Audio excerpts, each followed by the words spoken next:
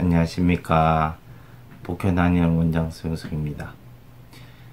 이번 시간에는 엄지발가락 쪽으로 통증이 오는 것에 대해서 말씀을 드리도록 하겠습니다. 그리고 엄지발가락 쪽에 또 통증을 느끼는 것 중에 특이한 경우가 가우트라고 해서 요산 수치가 높아지는 통풍이라고 이야기를 합니다. 통풍의 같은 경우에는 인체가 단백질이나 이런 것을 먹고 나서 간에서 해독하는 과정에서 요 산, 요소를 요산으로 독소를 해독을 하는데요. 근데 이게 요산이 소변으로 잘 배출이 되지 않고 혈액 중에 떠돌아 다니다가 엄지발가락 쪽에 가서 이 침착이 됩니다.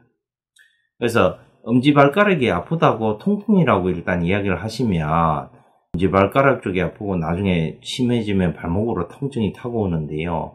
근본적인 원인은 단백질 섭취와 음주를 해결을 하는 것을 막아야 됩니다. 그러니까 인체가 단백질을 섭취하면서 생기는 부산물을 부산물이 요산이고 요산이 결국은 처리를 못해서 엄지발가락 쪽으로 이렇게 가는 겁니다.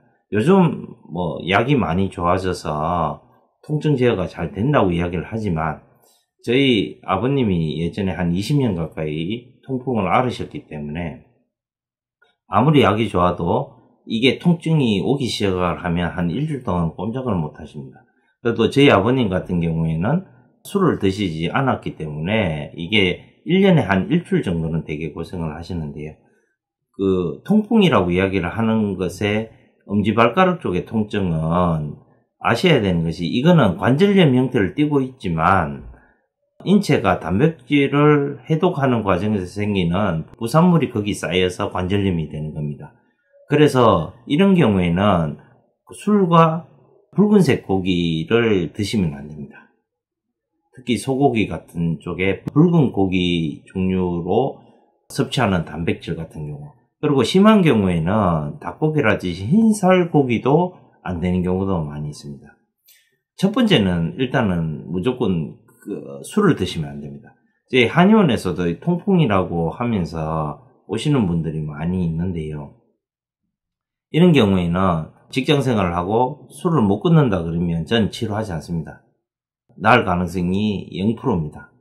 뭐 통풍약이 되게 독하기 때문에 양방에서도 약을 쓰고 나면 다른 뭐 간독성이라든지 이런 것들이 되게 많이 생기기 때문에 부작용이 많이 생기지만 술과 고기를 끊지 않고서는 이게 해결되지 않습니다. 그래서 이게 뭐 스님들이처럼 살면 이 통풍은 벗어날 수 있습니다. 그리고 환자분들이 뭐 저는 어찌됐건 술을 먹어야 된다고 하면 저는 더 이상 치료하지 않습니다. 그래서 다른 병원 가보시라고 그렇게 말씀드리고 낫지는 않습니다. 이 통풍에 대해서 엄지발가락 쪽이 호랑이가 물은 것처럼 아프다고 해서 통증의 강도가 되게 셉니다. 하지만 예, 원인은 전혀 다른 것에 있기 때문에 음식 조절을 하지 않고 통풍을 제어한다는 것은 거짓말에 가깝습니다. 그래서 뭐 양방 쪽에서 다들 잔소리를 하기 싫어하지 않습니까? 그래서 아마 이렇게 붉은색 고기라든지 고기 드시지 말고 등푸른 생선 드시지 말고 술 드시지 마세요. 그냥 그렇게 하고 그냥 치워버립니다. 그러면 아이고 조, 조금 남으면 또 먹으면 또 아프고 계속 하면서 관절이 망가지기 때문에 관절이 완전히 망가져 버리면 나중에 목발 짚고 다녀야 됩니다. 그래서 환자분들이 만약에 통풍이라고 이렇게 진단을 받으셨다고 하면 그날로 술을 끊으시기 바랍니다. 감사합니다.